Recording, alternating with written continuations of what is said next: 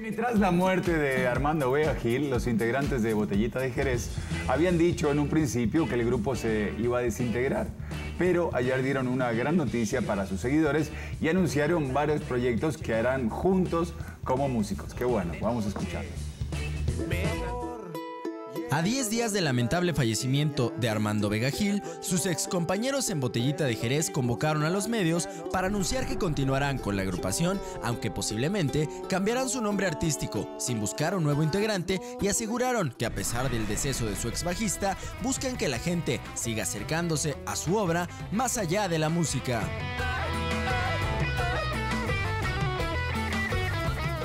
Incluso lo que pensamos es que una manera de de conocer a Armando será conociendo su obra. Yo creo que desde mi punto de vista su obra literaria es quizá la menos conocida eh, y por ahí tendría que empezar eh, pues el, propio público que, pueda rescatar esa obra de Armando. ¿no? Respecto a lo de Botella, bueno, eso estamos pensando en qué hacer. Eh, haremos un formato distinto, no pensamos sustituir a Armando, si logramos eh, concretar algún nuevo trabajo, alguna nueva propuesta musical. Además de interpretar acordes en el bajo, Armando componía temas para la banda y hubo algunos que quedaron inconclusos. Por ello, buscarán materializarlos a manera de homenaje para su colega y confirmaron un concierto en memoria del músico si habrá un homenaje este, que todavía no sabemos este, cuándo, eh, pero tenemos toda la intención de que lo haya. Eh, obviamente Armando principalmente, pero también a Botellita Jerez.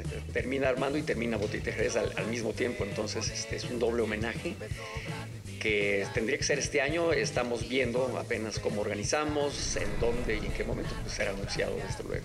Lo que sí tenemos en mente es que hay algunos temas que empezamos a trabajar y que quedaron inconclusos. Entonces hay la idea de, concluirlos, ya sin Armando, pero en un momento dado podría también verse como este, bueno, cerrar el ciclo, ¿no? Tanto con Botita Jerez y Armando también.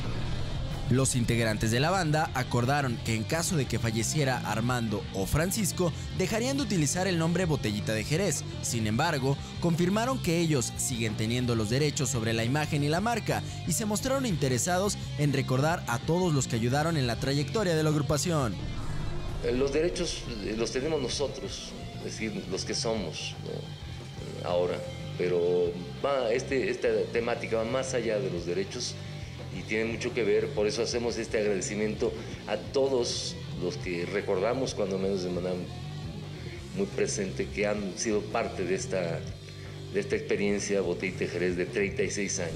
Para Bla Bla Show, Carlo Vanegas.